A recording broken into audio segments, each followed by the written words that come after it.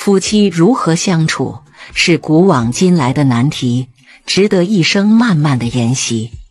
夫妻是这辈子陪你最久的人，想要感情经久不衰，想要爱情一直甜蜜，最好做到三多三少三不要。夫妻之道三多，第一多多尊重，尊重就是唯一，尊重就是诚恳。尊重就是背叛他的事不做，尊重就是伤害他的事不为。夫妻懂尊重，才会有爱种。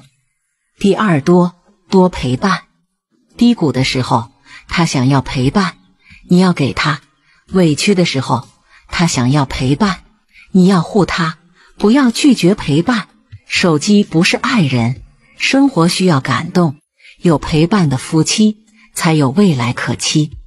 第三多多包容，两口子一辈子磕磕绊绊、跌跌撞撞，总有分歧，总有摩擦，出现问题，没有啥不懂包容才可怕。懂得包容，你让一步，我迁就点，彼此之间才有温暖。夫妻之道三少，第一少少唠叨，女人一定要少一些唠叨。没有哪个男人喜欢没完没了的抱怨、无休无止的指责、唠叨改变不了问题，男人也听不进去。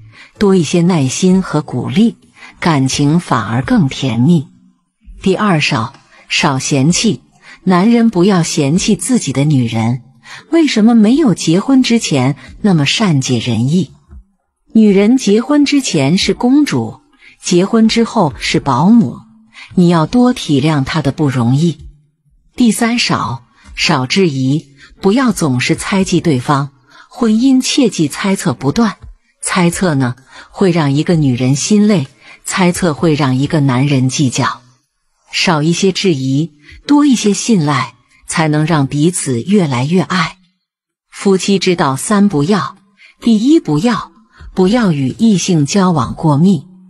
如若你的伴侣介意你和异性交往过密，请你一定要保持好距离。异性是一时的风景，总有凋谢的时候，伴侣才是一生的挚爱，要分清孰轻孰重。第二，不要不要把付出当成应该，即便是相守一辈子的夫妻呀，也不要把对方的付出当成应该做的事。夫妻之间要有感激和回馈，珍惜对方的付出，回报对方的深爱，才能让对方平衡，才能让婚姻持久。第三，不要不要因爱卑微了自己。即便步入了婚姻，也是先有个体，才有家庭；也是先有自己，才有对方。